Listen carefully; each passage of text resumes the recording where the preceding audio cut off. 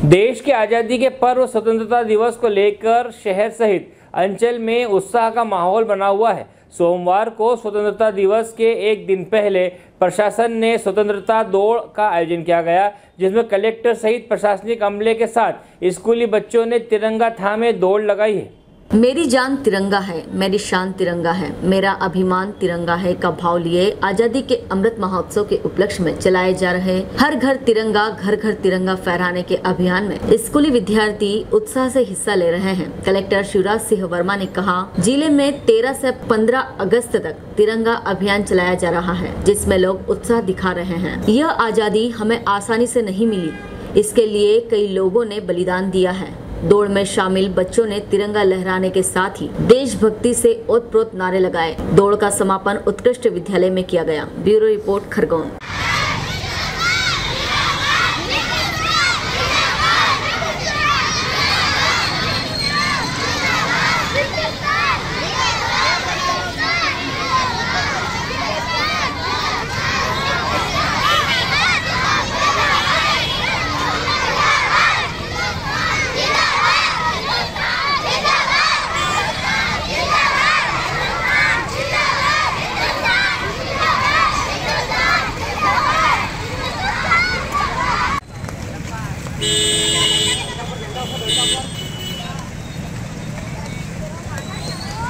क्या है भाई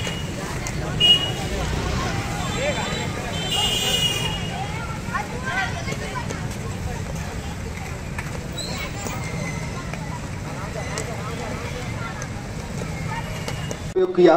इतने बच्चों को अपना मैसेज देने के लिए मैं मैं हूँ अभिमन्यु। मतलब हर व्यक्ति अभिमन्यु है, है? हमको अभिमन्यु बनना पड़ेगा और उसके लिए क्या काम करना होगा? हमको नशा मुक्ति। नशा मुक्ति का मतलब है कि हम अपनी ज़िंदगी को आगे बढ़ाना चाहते हैं, हमको सभी तरह के नशों से दूर रहना है।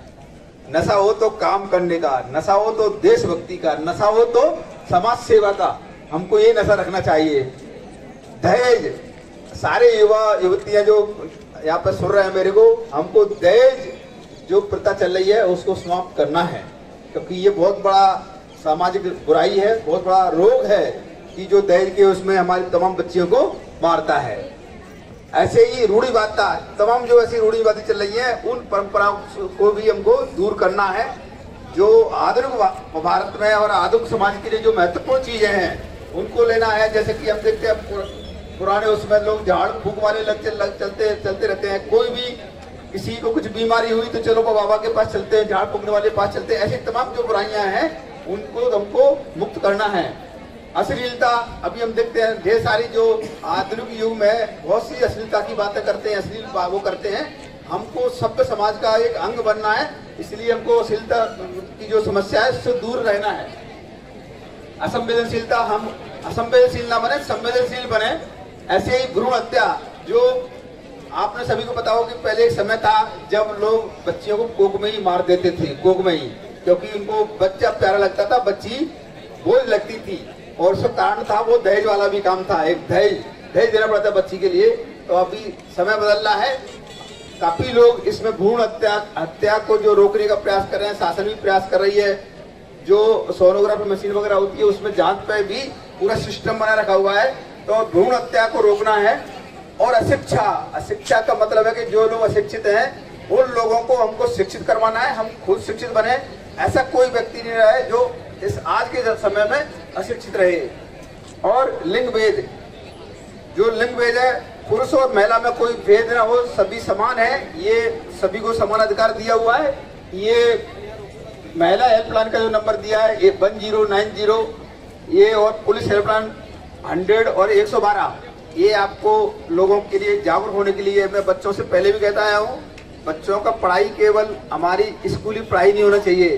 बच्चों को आज के समय में कौन कौन सी चीज़ों की पढ़ाई की आवश्यकता हमारे बाहर क्या पढ़ाई हो रही है? समाज में क्या चल रहा है? सरकार क्या चाहती है? हम सबको उसकी नॉलेज होना बहुत ज़रूरी है। इसलिए हर जो नई चीज़ सरकार लाती है, उसको सभी बच्चों को जानने की ज़रूरत है कि ये क्यों ला रहे हैं? इसके पीछे कारण क्या है? और हमें क्या करना है? तो ये भी एक पढ़ाई का हिस्सा बने तो सर स्वतंत्रता दौड़ का आयोजन किया गया है। क्या संदेश देना चाहते हैं? इस बार आज़ादी के अमृत महोत्सव का एक वर्ष पूरा हो रहा है और उसी कड़ी में देश भर में विभिन्न गतिविधियाँ चल रही हैं।